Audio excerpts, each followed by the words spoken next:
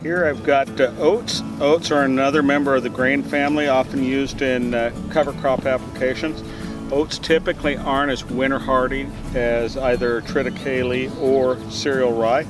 So a lot of times these are used in applications where you actually want the plant to winter kill. Uh, they're very aggressive. You've got large seeds, so they come out of the ground pretty good. They have also got a pretty good root system. It's fibrous, maybe not as thick as the uh, triticale, but the individual roots have uh, very good structure to them. Uh, this too will go down easy, 36, uh, 40 inches in depth. So a great one for inclusion.